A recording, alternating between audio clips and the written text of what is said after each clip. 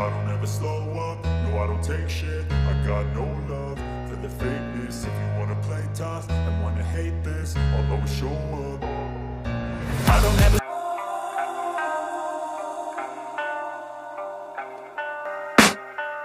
I can hear the demons call when they do what they do And now I feel like taking off, find a place with a view. The pain is never gonna stop if it's controlling you. I know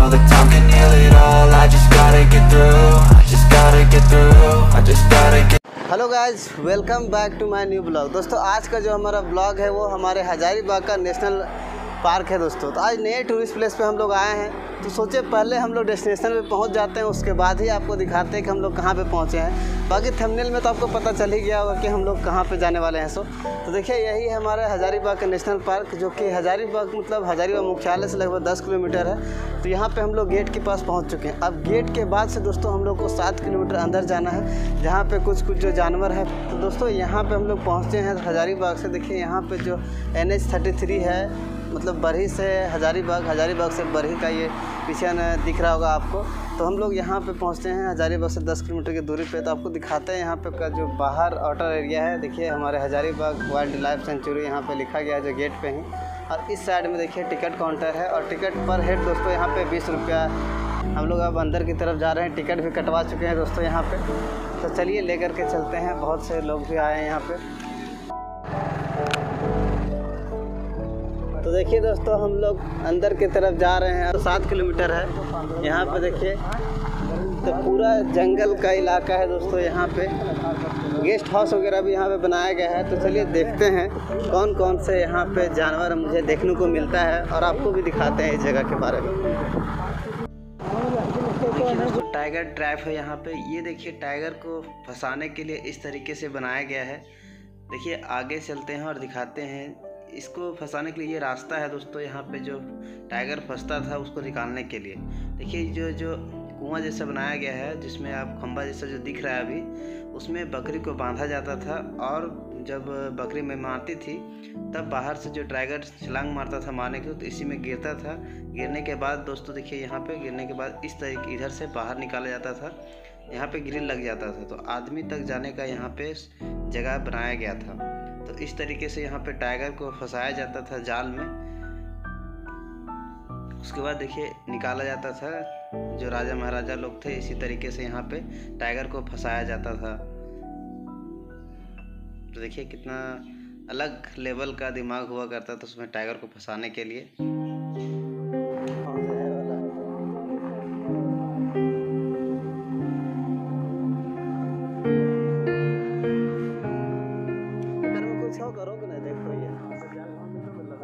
तो देखिए guys हम लोग पहुँच चुके हैं world life sanctuary में। तो यहाँ पे सबसे पहले आपको दिखाते हैं इस पार्क का जो मतलब इस नेशनल पार्क का, जहाँ पे मैपिंग किया गया है, किधर, किस साइड में क्या मिलता है कि नहीं मिलता है। आने टाइम रास्ता में तो कुछ दिखाई नहीं दोस्तों। कम से कम सोच रहे थे कि हिरन भी दिख जाएगा, हिरन भी नहीं दिखा यहाँ पे। तो चलिए पहले मैप देख लीजिए हमारे हजारीबाग का नेशनल पार्क जो है सो तो यहाँ पे लिखा गया है वन्य जीव अब कुछ ही शेष इनकी रक्षा करे विशेष। तो देखिए हमारे हजारीबाग वर्ल्ड लाइफ सेंचुरी और देखिए यहाँ का जो मैप बनाया गया है दोस्तों यहाँ से एंटर किए थे हम लोग देखिए ये इधर से आते हुए। देखिए ये हजारीबाग से और जो बढ़ी ये मेन जो एन एच थर्टी थ्री था उसमें और यहाँ पे जो देखिए इस जगह पे जो राउंड दिख रहा है यहाँ से हम लोग एंटर किए थे। यहाँ से ऐसे इधर हाँ इधर से देखिए इधर आते हुए और अभी जो हम लोग हैं रजवे तो तो यहाँ पे हम लोग अभी पहुँच चुके हैं। अब यहाँ के बारे में दिखाते हैं। यहाँ कुछ है तो ऐसे नहीं देखे हैं अभी तक। हम लोग जो जानवर देखना चाहते थे। तो चलिए अभी दिखाते हैं। और इस साइड में दोस्तों यहाँ पे गेस्ट हाउस है। दिखाते हैं अभी गेस्ट हाउस इधर बनाया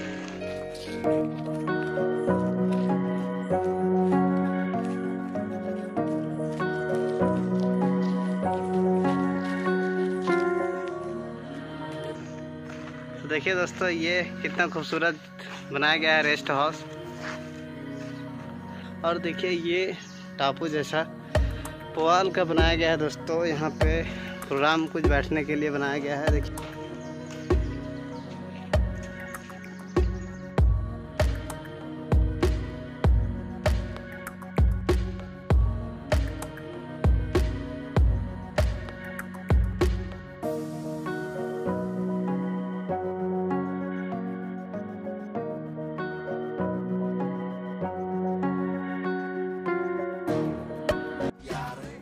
यहाँ पे सिर्फ़ एक बंदर ही दिखा पाए हैं अभी तक क्योंकि ज़्यादा कुछ अवेलेबल नहीं था। देखिए यहाँ पे एक दो बंदर बैठे हुए हैं और एक ऊपर पेड़ के ऊपर चढ़ गया दोस्तों। तो चलिए सामने अगर भागता नहीं है ये तो सामने का व्यू सबसे ऊपर से आपको दिखा रहे हैं हम। देखिए इस तरह के टापू बनाए गए हैं और यहाँ पे बोटिंग की भी सुविधा है बट अभी हो नहीं रही है। और इधर देखिए बैठने के लिए भी जगह बनाई गई है देखिए इस टाइप में। और पूरा जंगल को देखिए दोस्तों यहाँ पे।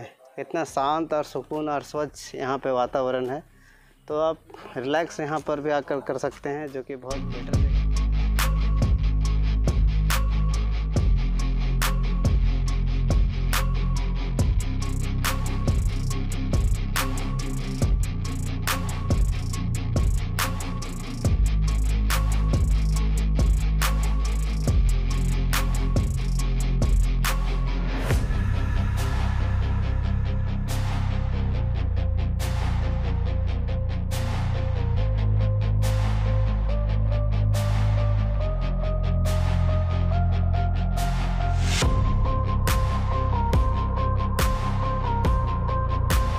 तो ये था हमारा नेशनल पार्क का ब्लॉग। तो नवंबर, दिसंबर, जनवरी, इस टाइम आइए पिकनिक मनाने के लिए। बाकी एंजॉय कीजिए पिकनिक मना करके। बाकी ऐसे घूमने के लिए सिर्फ़ कुछ भी नहीं है यहाँ पे। आइए और मज़ा करिए। तो चलिए नेक्स्ट ब्लॉग में फिर से हम लोग मिलेंगे। तब तक के लिए धन्यवाद।